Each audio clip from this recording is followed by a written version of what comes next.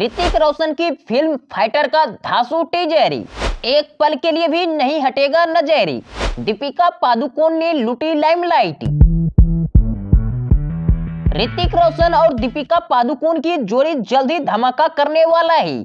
इसकी शुरुआत हो चुका है। इनकी जोड़ी फ़िल्म फाइटर में नज़र आने वाला है। इसका रिलीज़ का लोगों को बेसब्री से इंतज़ार है। इन सब के बीच अब इनका टीजर जारी कर दिया गया है। इसमें दोनों स्टार्स को पायलट के लुक में देखा जा सकता है। एक मिनट तेरह सेकेंड के वीडियो से नज़र हटा पाना भी काफ़ी मुश्किल हो रहा है। जारी किए गए फ़िल्म फाइटर की टीजर में देखा जा सकता है। ऋतिक रोशन और दीपिका पादुकोण स्क्वाड्रन लीडर बने हैं। दोनों फाइटर प्लेन उड़ाते हुए दिखाई दे रहे हैं। वहीं इसमें अनिल कपूर भी हैं, जो कि ग्रुप कैप्टन शमशेर पठानिया के रोल में हैं। वीडियो में उन्हें भी पायलट के गेटअप में देखा जा सकता है।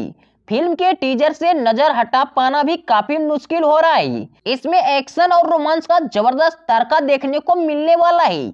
आपको बता दें, पठान के बाद दीपिका एक बार फिर से बिकनी लुक में दिखने वाली है। टीजर में एक्ट्रेस के बोल्ड लुक की झलक दिखाई गई है, जिसके बाद एक्ट्रेस एक बार फिर से चर्चा में आ गई है। फैंस उनके इस अंदाज को देख काफ़ी एक्साइटेड है। वहीं अगर फ़िल्म फाइटर की बजट की बात की जाए तो ये बड़े बजट की एक्शन फ़िल्म है। इसका बजट करीब 250 करोड़ रुपए बताया जा रहा है।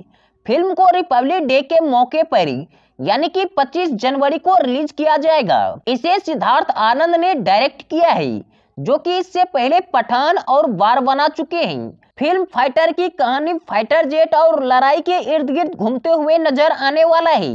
इसके साथ ही फाइटर को इंडिया की पहली एरियल एक्शन फ़िल्म माना जा रहा है।